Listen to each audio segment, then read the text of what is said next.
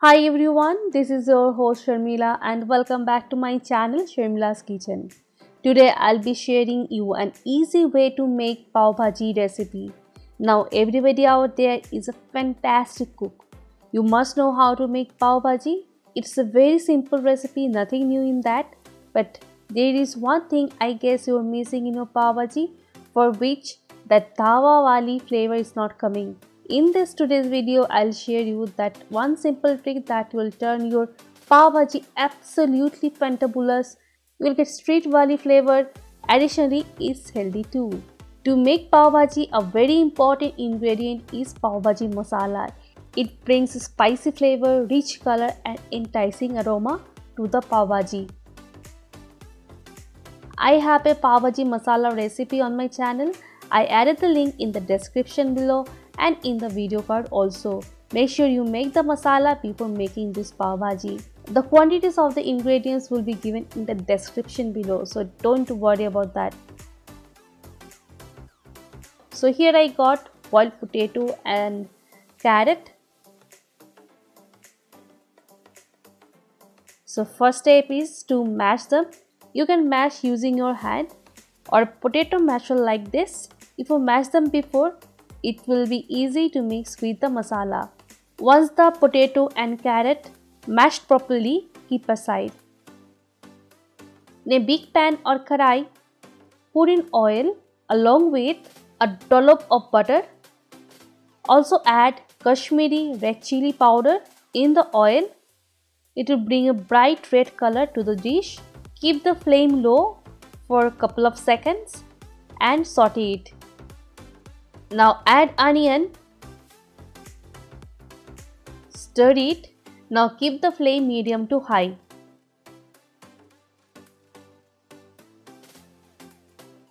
Also add salt. Saute it until moisture evaporates and onion is slightly golden brown. Then add ginger garlic paste. Cook until raw smell goes away. It will take around 2 minutes. When the nice roasting aroma comes, add chopped tomato. Also cook medium to low flame until moisture evaporates and left only a nice red mixture. Now add capsicum or green bell pepper. Keep sauteing for another 1 minute on high flame. Additionally, put green peas, my homemade pav masala and hand crushed kasuri methi. Cook these masalas for another 2 minutes.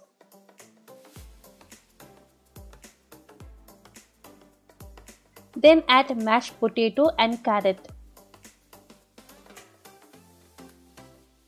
Now mix the masala using a potato masher. While starting the video, I told you that the pav bhaji is going to be very healthy. Now as you can see I added carrot, green peas, capsicum. Like that you can also add other vegetables like cabbage, cauliflower, beetroot etc. Then it will be healthier. And if you mash like this no one can get a hint of vegetables that you have added in. So it will really be helpful for fussy eater. Now I'm adding hot water Hot water makes the cooking faster and binds the masala properly.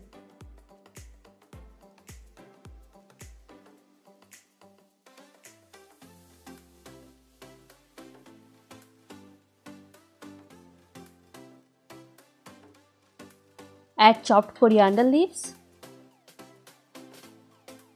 and butter for flavor. Addition of the butter to the last dish brings lots of flavor and pav without butter is not really exciting. Now I'll show you a simple thing that will bring Mumbai street flavor.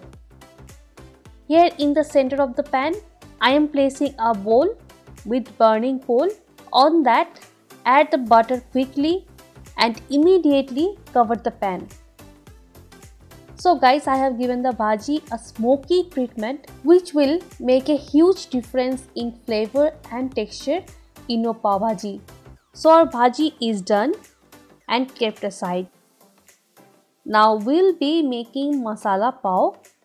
So first cut the pav in the center like I'm doing.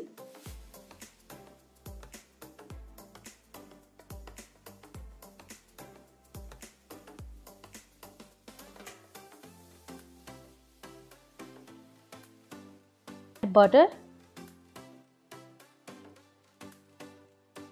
chopped coriander leaves, hand crushed kasuri methi, a dash of pav bhaji masala, add little oil also I mean, I wanted to put a little bit, but it felt down more. Don't worry, we can toast 4 pav out of it. And a teaspoon of bhaji that we just made.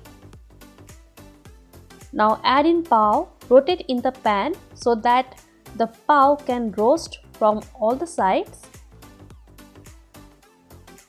Then flip over and repeat the same thing.